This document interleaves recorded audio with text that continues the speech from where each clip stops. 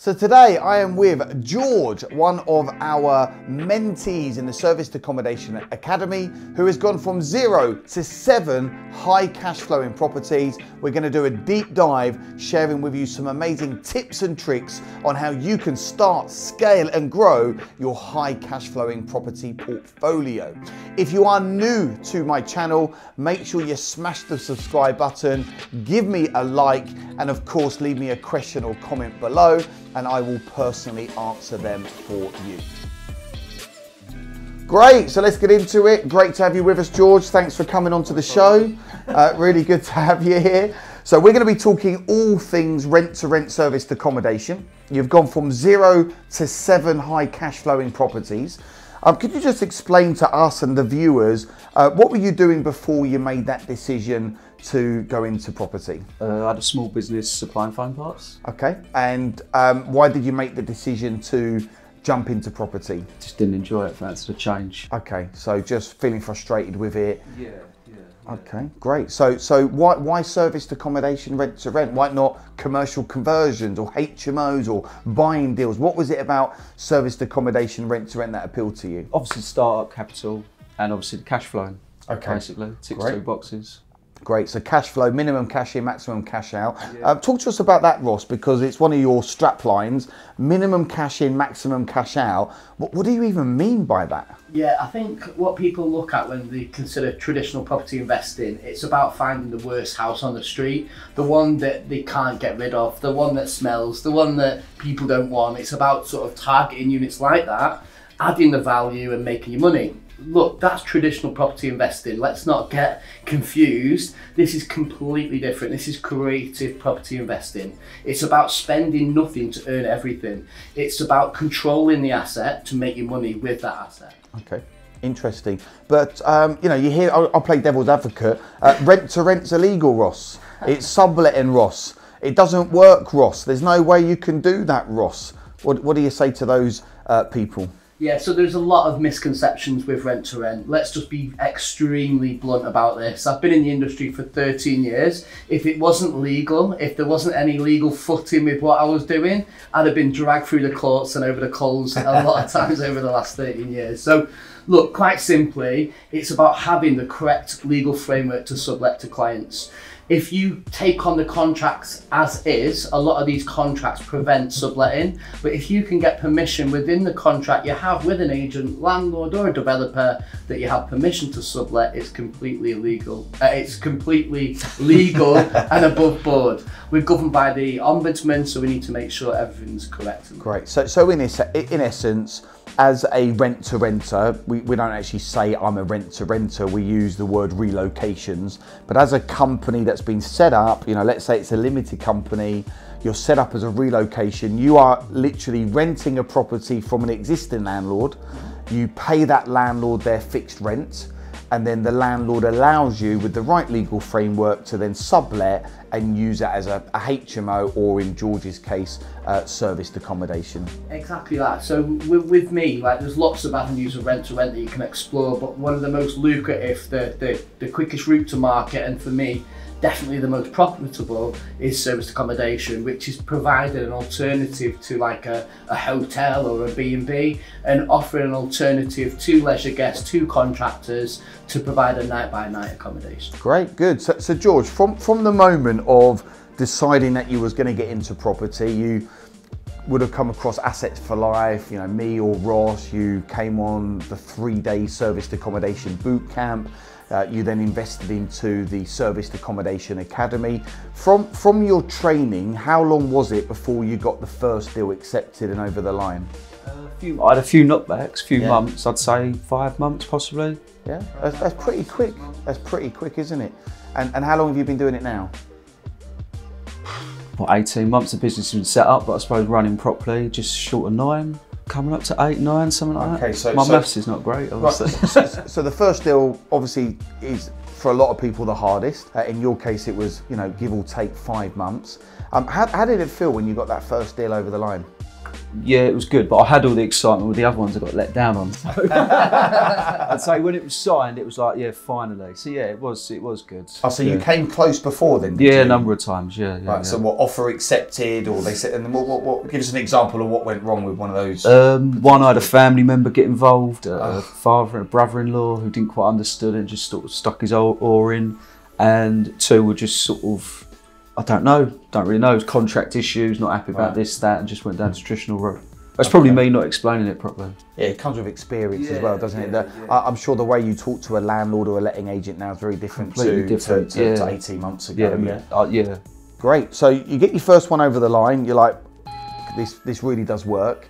You then go from one to seven deals. How, how was you able to really scale that in quite a short space of time? Um, yes, I JV'd with some people, couple people, well, one person who's on the on the course as well, and that's it. Yeah, Uh, JV in terms of they put the money in. yeah, Oh right, okay. So you have used other people's money to fund your deals, your initial startup. yeah. And then I did end up getting an investor as well, just from uh, a friend's brother, actually. Okay, great. Uh, that's amazing. So you're at seven deals now. Um, who, who would you say your clientele is? Contractors mainly, majority, yeah, contractors. And why do you go contractors, say over holiday makers? The contractors are nice and easy. They are nice and easy. They're quite understanding. You you don't tend to find you've got Wi-Fi issues until a leisure guest goes in. Okay. so, but no, they're, they're, yeah, it's just nice and easy. Okay. And yeah, tidy fellas. yeah, and and uh, obviously they, they pay good rates. Yeah. I suppose for contractor, you know, you you obviously you've got a lot of experience in this. You know, what's your been experience with contractors? What why why are contractors so on it with serviced accommodation units now rather than staying at a Travelodge or a Premier Inn or, or a local hotel? What, what what's going on there? So, so naturally, we can look at both markets and we can cater both. But I tend to focus purely on the contractors, and it just comes down to this: there is no um, seasonal period with when it comes to contractors. If you can imagine, from this, pretty much from December the fifteenth to around the the fifth of Jan, that is the only quiet period you get all year round when you focus on contractors. Unfortunately, if you focus on le- leisure stays, let's say I don't know Brighton, Blackpool, like ultimately during the summer months, it's phenomenal drops off a cliff during those winter months and unless you've got contractors to support those winter months you know leisure stays and holiday destinations can be quite a tough place. Mm. So for me i prefer the contractors. A they're all year round. B less hassle. C I find they come back again and again and again, so repeat bookings that I can do it directly. So there's multiple benefits to contractors, and that give you an insight into some of them. Okay, so let's say someone's tuning into this. They get their first apartment, their first rent to rent over the line. Typically, a rent to rent unit will, will make a thousand to fifteen hundred pounds per month profit. Some a bit more, some a bit less. How the hell do you find these contractors? How, how- how do you do that? So like there's multiple different ways to, to do it. Now naturally over the last 13 years I picked up a lot of tips and tricks on how to approach contractors, grab their attention and, get the business. But we teach you how to leverage uh, the likes of booking.com, Airbnb, the OTAs, the online travel agencies that are out there that support bookings coming in via leisure and via corporate stays. So we leverage the online travel agents, we approach companies directly in order to take on the business and naturally just offer a, an affordable solution to people coming to the area. Great. So with your units, George, you've got seven of them now. Does that take up a lot of your time in the week? You know, how, how many hours would you say you spend on the operational side of managing those seven units? So I couldn't put an hour on it because, yeah. I don't know. Some weeks is busier than others in terms of bits and pieces though, but you can do nothing. Like when I had COVID before Christmas, I've done nothing and I was alright. and, and the business still yeah, maintains. yeah, yeah. So obviously you do have to. There's work to do, but no, it's not. It depends how far you want to take it. If you want to push those direct bookings, and obviously time. If you want to push more units, there's time. But if you're if you've got to a figure and you're happy, then yeah, they can sort of tick over fairly easy. Okay. So do you do the check-ins and check-outs? No, no, I don't know. No. Does someone do them for you, or is it Uh, keypad? I've got lock boxes. Lock boxes. Um, yeah, on all of them. Yeah, that's really good, isn't it? Because a lot of people think that running a serviced accommodation rent to rent business is going to literally be like a full time job. Obviously, it can be if you choose it to be. You know, what I tend to do in my when I'm finding deals, I just want to focus on deals, I want to focus on money, and the rest of it. I want to leverage and outsource that to someone. Obviously, it's good that you get experience in managing your own properties as well, and then you can build a team around you. Uh, but what, what's your view on that, Ross, in terms of the time involved in building this type of business? Can someone do this just initially part time? How many hours a week does someone need if they're just starting out? Uh, Look, I, I think like with everything, what you put in, you get out. So the more time you can devote to it, the quicker you're going to get results and the faster you're going to grow. And I'm sorry to sound like a cliche, but that's just the facts. Yeah. Um, now, in regards to like how long does it take to manage a unit? Like my sort of take is, look, initially understand the day-to-day operation, be able to quantify somebody else doing it on your behalf. Now the options you've got on other people doing it on your behalf, you could go with part-time staff, full-time staff, you could go with a VA, you could go with a PA, you could go with a management company, you could just go with, you know, somebody to help you on the ground ultimately depends on what work you want to put in. Like if you're quite happy to do the work initially, grow your business and build as you grow, then yes, a little bit of time will be devoted initially, but that time will soon relinquish and you can focus on the things that you want to do. So, so how are you set up at the moment, George? Is it just still you in the business? Do you have a team member? Do you have, have anyone in the team? I leverage a cleaner quite a lot, Okay. um, but it took me a while to find her. She's yeah, we're on the same page with a few things like set up units and things that I don't do anymore. She'd do that. I've got list in place, things like that. I leverage her for other bits and pieces. Um, I think that's it. It's that well, at the minute for me was finding that one person to, Yeah. to take away some of them tasks because I was running around dropping linen off and things. That, that's time Yeah. consuming. but that And make- not that enjoyable no, either, right? No, no, but that makes you want to obviously find that, that person. So, yeah, it's, it's more leveraging that, that other person in terms of getting someone on. I haven't thought about that yet. I don't know, not too sure I want to take it really because obviously taking someone on is more cost and stress, isn't it? Yeah, I think as you build and grow. So you're on seven now. Uh, what, what would you say has been your biggest challenge? I don't really know. Maybe there hasn't been one. Maybe it's just been, No, maybe it's just been okay. um, I suppose getting them originally getting So the, finding new- the deals. Yeah, finding that deal. Yeah, I suppose. But I do, I do quite enjoy that. But yeah, I suppose that is the that was the most difficult part. Um, and I hate, I don't enjoy the computer uploading all the onto the OTAs. So that that's Okay. not really a that's not really a major issue, is Yeah. it? Okay. So a few challenges, but again, anything can be, you know, anything worth having, anything worth fighting for. Certainly in this high cash flowing strategy where you could be making a thousand to fifteen hundred pounds per month per property, it doesn't take long to get up to 40, 50, 60, 100, if not 200,000 pounds a month net profit. And of course, with that, there's going to be some few challenges and a few ups and downs. Um, how has Ross and the Academy and Assets for Life um, helped you and guided you through your journey? Yeah, so uh, yeah, definitely helped me with some bits, especially the first first unit. That, Yeah. that was big help.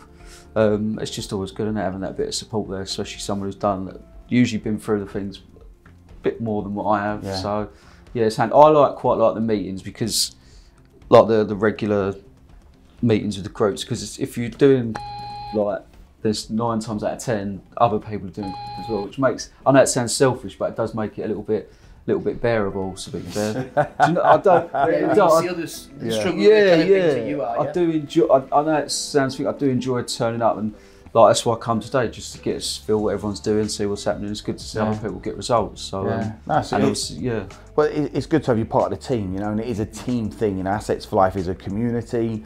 We've got different of all ages, all backgrounds, all levels of experience, and you know, obviously you've done amazing. So you know, well done. So far, so good. You know, seven deals in the portfolio. I, I promise you now, George, that is going to be a massive inspiration to people listening in on this. And, and the fact that you're saying you're going to double in the next 12 months. I should do more than that, but I You don't should want do to talk more. too easy. Just to be You've got clear, some big He will be doubling in the next 12 months, okay? He will be doubling. Whether he thinks it or not, he will be doubling no, at yeah. least. To be honest, I, and again, I'm not taking anything away from George here, but you know, George could have doubled the amount of results he's got so far without a shadow of a doubt. But like with everybody getting into an industry for the very first time, you need to find your feet. You need to understand it. You know, see where the opportunity is, and I think that's something that George picked up on really, really quickly, and he's literally not looked back since, Wow. in my opinion. And, also, it's about lifestyle as well, isn't it? You know, there's only so much money anyone needs, and obviously I love making lots more money, but I also want to make sure I've got a good quality of life. I'm a family man. I've got Holly. I've got my four my four kids. Yeah, you were mentioning just before we went live that you got a few holidays booked, a few skiing trips. Is, is do you see this as a lifestyle business? Yeah, I suppose so. Yeah, it's Yeah. definitely um, yeah, it's definitely something I want to build and Kate don't know what to do, but definitely something I want to build on. Yeah. Brilliant, Yeah, brilliant. And, and do you think one day you'd like to get into owning assets as well, and I think that's a natural progression. That's yeah. already yeah, I'm all yeah. Yeah. already getting hungry to do that? already having them. Yeah. but yeah.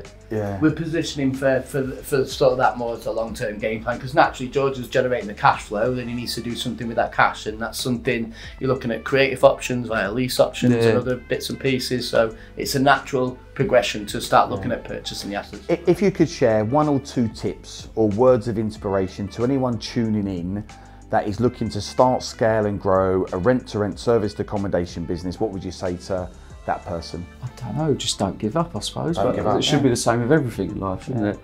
Well, you, you, you say that, but And most people do no's. accept the no's. I love that. So anyone tuning in, you're going to embrace rejection. You're not going to get every investor. You're not going to get every landlord.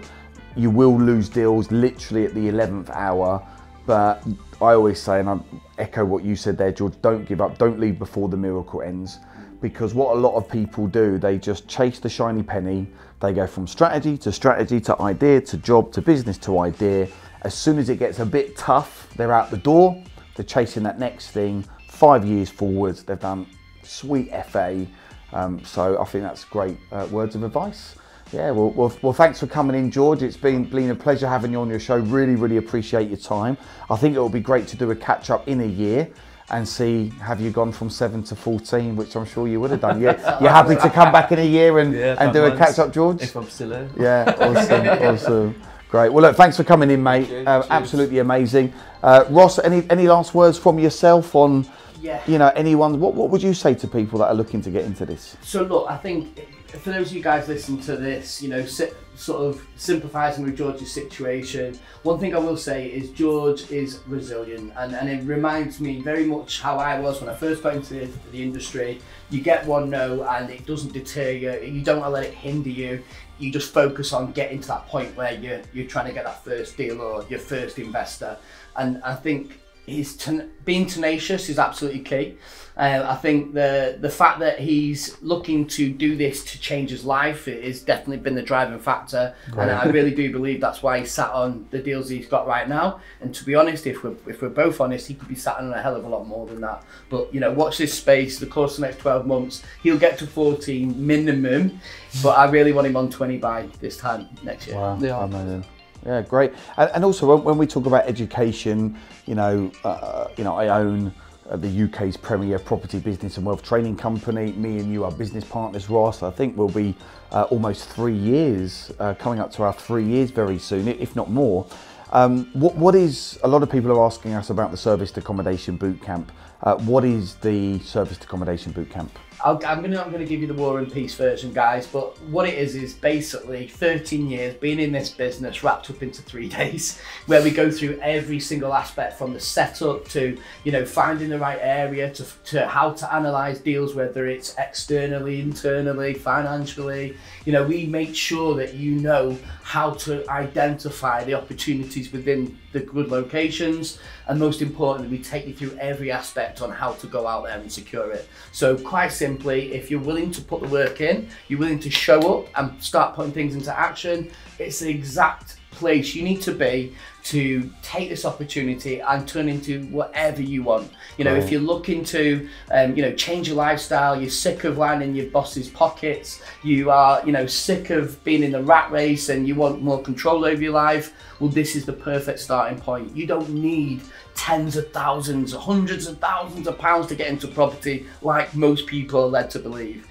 You can get in for a very relative entry point and ultimately take whatever you want from this. Wow, awesome. So it's basically you showing them your blueprint, the Whisperer blueprint, taking someone new or experienced from start to finish on how to start, scale, and grow a high cash flowing property portfolio in this creative property space? Yeah, like guys, I don't need to think that the way I'm showing you is any different to the way I do it myself. Look, I've built a portfolio between six to 800 units at any one point.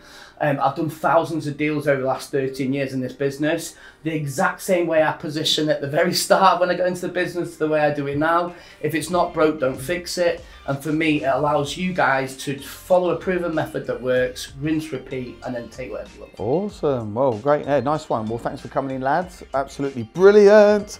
So, there you have it a great introduction to Ross Mallalieu, my amazing business partner. It was great to have George here. Zero to seven properties in the portfolio, looking to double over the next 12 months. And look, where are you currently at now? Are you in a position, are you working too hard?